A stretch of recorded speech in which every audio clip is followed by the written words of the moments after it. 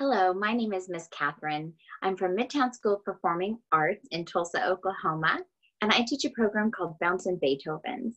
I'll be teaching through the libraries this summer virtually, and so I want to make sure that you have all of the instruments that you need in order to have fun at home with your kiddos. I also want to just let you know too that the more fun you have, the more fun your kiddos will have in music class. So make sure that you make instruments for yourself as well. Today I'm going to start with showing you how to make some at-home uh, egg shakers. So this is an egg shaker that we use in class.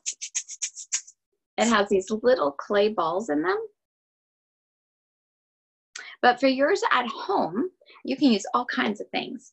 So I like to find miscellaneous items around the house, such as bread ties, and you can put them in a container, put your lid on, and you have an instant shaker. Make sure though that you always use packing tape or some kind of tape to secure your lid so that your kiddos don't get a mouthful of yuck. Also, another option would be to use salt. So just use regular salt. Pour some of that in, secure your lid, put your tape on, and there's your shaker. The other option would be twist ties. twist ties. And so you put your twist ties in, put your lid on, and shake away. If you have an Easter egg around, you could also have your kiddos fill it with something special, put it in, secure it with tape, and there is your egg shaker.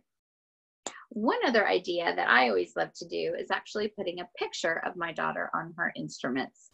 And she added these stickers. Of course, I put tape on it so make it nice and secure, but also it kind of keeps, um, if they taste it, um, then you can just quickly wipe it down. Keep it clean. All right, so those are your egg shaker ideas. Next would be rhythm sticks.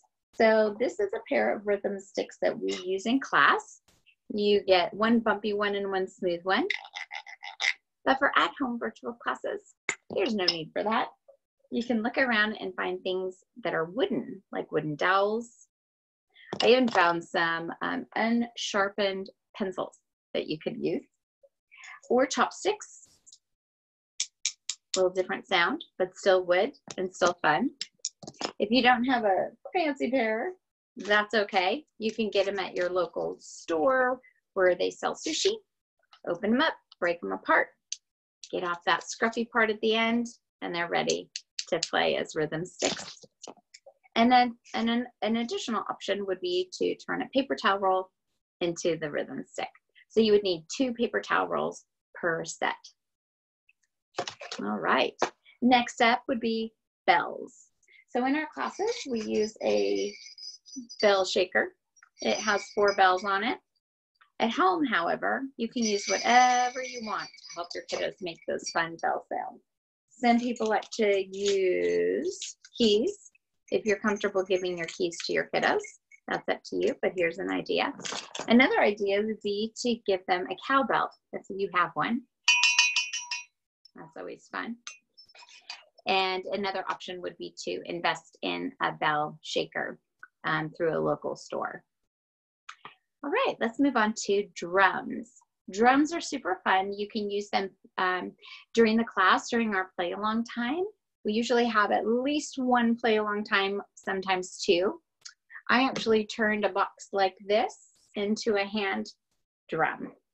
And all I did was I wrapped it with paper and used stamps that some friends of mine gave me, some of my little friends. And now I use it a lot in my virtual classes, a hand drum.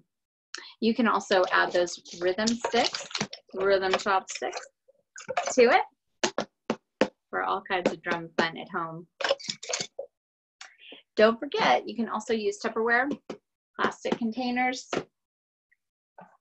You can use this kind of plastic container. If you have a couple of these, you can also uh, tape them together to make like a little bongo set.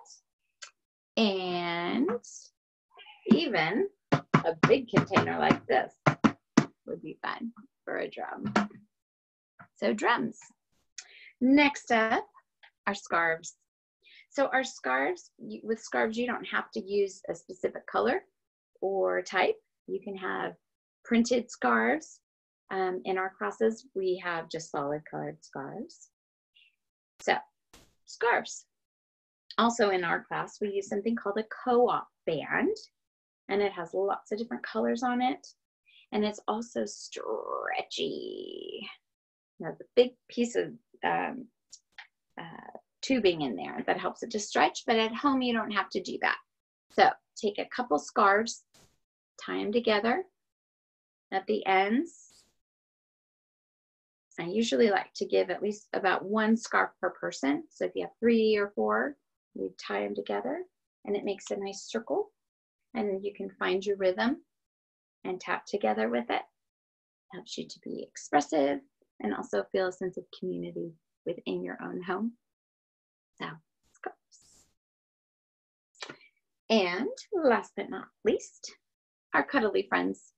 In our classes, we like to do a lot of dancing. And sometimes we like to have snuggle time with our cuddly friends at the end or dance with them during the class. So make sure that every single person in the music class has a snuggly friend to play with as well. I hope this tutorial was helpful for you and gave you some ideas on how to bring some fun to your home with musical instruments made from home. I'll see you in the libraries.